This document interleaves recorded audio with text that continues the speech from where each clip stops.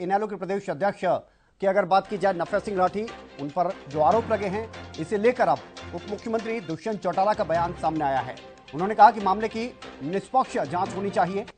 और अभय चौटाला की अगर बात की जाए तो जब उन्होंने प्रेस कॉन्फ्रेंस की थी, तब उन्होंने ये कहा था कि जेजेपी वालों की तरफ़ से ये जो ऑडियो है, वो वायरल करवाई गई है। बड़ी खबर इस वक्त की आपको बता दें, इनेलो के प्रदेश अध्यक्ष नफे सिंह राठी की अगर बात करें तो उन पर आरोप लगे हैं और इस आरोपों को लेकर डिप्टी सीएम दुष्यंत चौटाला की तरफ़ से बयान सामने आया। उन्होंने कहा कि मामले की निष्पक्ष तौर पर जाँच होनी चाहिए। अभय चौटाला की अगर बात करें तो उन्होंने ये कहा था कि जेजेपी वालों की तरफ़ से ये ऑडियो वायरल करवाया गया।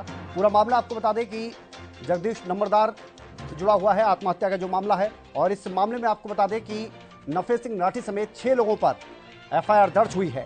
और इसी को लेकर अब राजनीतिक तौर पर जो बयानबाजी हैं वो सामने आ रही हैं। इससे पहले की अगर बात की जाए तो अभय चौटाला ने प्रेस कॉन्फ्रेंस की थी। उन्होंने जेजेपी पर ये गंभीर आरोप लगाए थे कि जेजेपी ने ये ऑडियो वायरल करवाया और विपक्ष छवि खराब करने के लिए पार्टी की ऐसा कर रहा है। इंडियन नेशनल लोक दल के प्रदेश प्रधान पर आरोप लग रहे हैं। एक शख्स की आत्महत्या के उकसाने के क्या कहना चाहोगे? फेयर इंक्वायरी होगी और जो दोषी है उसको सख्त से सख्त